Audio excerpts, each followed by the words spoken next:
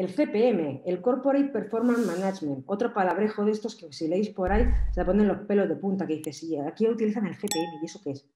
Simplemente es un ciclo, es un ciclo de manera de, de, gestión de determinadas cosas, que es eh, cómo lo estamos haciendo, por qué y cómo lo deberíamos hacer.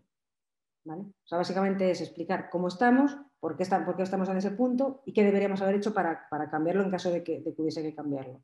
¿vale? Si os fijáis, al final son palabras, pero que tampoco dicen nada en sí, pero que cuando uno se pone a, leer, y aquí leemos mucho, eh, dan un poco de... Dices, hola, esto y ahora esto qué es, ay Dios mío, ya me tengo que poner a estudiar otra cosa. No, simplemente este ciclo que es interesante es simplemente para responder a eso que hacemos cuando tenemos los informes, ¿vale? Tenemos, bueno, no porque tenemos informes. ¿Cómo lo estamos haciendo? Ahí vemos si bien, mal, regular, por qué lo estamos haciendo así y si lo deberíamos de haber cambiado de hacer de otra manera.